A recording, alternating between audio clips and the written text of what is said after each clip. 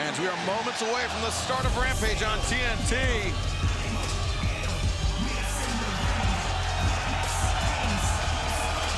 This is a first round match in the Grand Slam tournament. It's a 401 fall with a 20 minute time limit. Being accompanied by Alex Abrahantes from Mexico City, Mexico, weighing 207 pounds.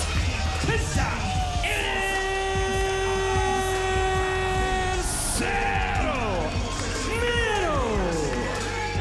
Excalibur, joined by Tony Schiavone, The Ocho, Chris Jericho. We are about to find out who will move on to Collision tomorrow night to come one step closer to winning the Grand Slam AEW World Championship Eliminator Tournament. A lot of uh, prestige here, uh, a lot at stake in this tournament to see who's going to face MJF at Grand Slam. Chris, we found out this past Wednesday night that Darby Allin and Roderick Strong advanced. Tonight, got two more matches on the Rampage quarterfinal bracket. After we hear from Justin Roberts, I want to have your opinion on who you think is going to take it all.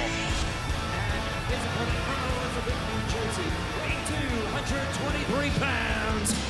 Jay Lethal. I'd love to know who do you think is going to take it all? Who do you think is going to challenge MJF at Grand Slam? Well, you know, I can't ever bet against Darby Allin, as beat up as he gets, and as, as many times he gets thrown around, he always comes out on top. And I'll tell you what, I don't think MJF's ever faced somebody with the intensity and the insanity of Darby Allin, so that's my choice. Well, fans, we are going to find out who will move on to Collision tomorrow night to face the winner, Samoa Joe and Jeff Hardy. Will it be Jay Lethal? Will it be Penta El Zero Miedo? Tune in to TNT right now to find out. Right, Tony? Right, guys? Can't wait! Time you woke up.